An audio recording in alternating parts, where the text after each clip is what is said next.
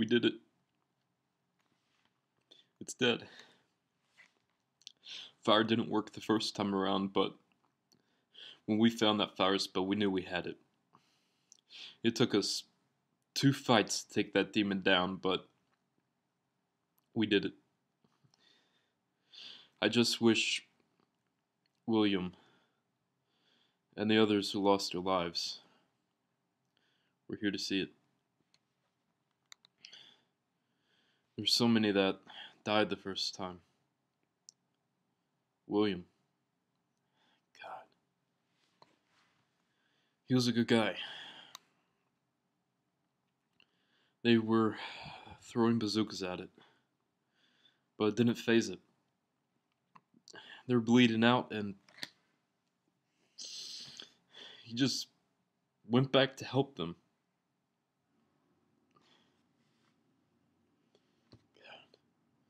Sorry. But we took it down that second time. Thank you, everyone, for your condolences.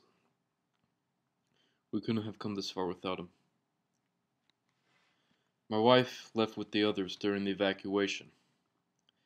She has some family in Hawaii, so that's where she's at right now.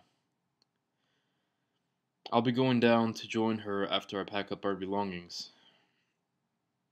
The military was more than kind to Henry and I for helping destroy it, and has given us a lump sum to use however we like.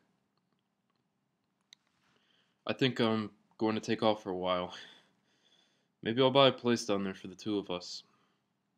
She said it's so nice that we should just go ahead and stay. I think we will.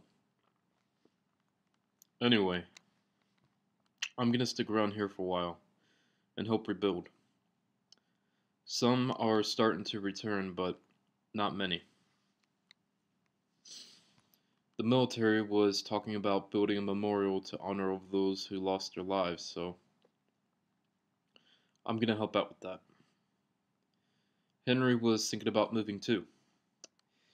He said he wants to go someplace nicer with no monsters. That's for sure. Since it looks like everything is back to normal now, or at least on its way, I believe this will be my last video to you.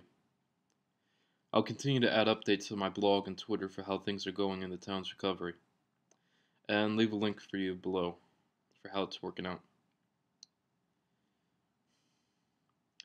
Thank you, everyone, for all of your support in helping us. And as always, that's all for now.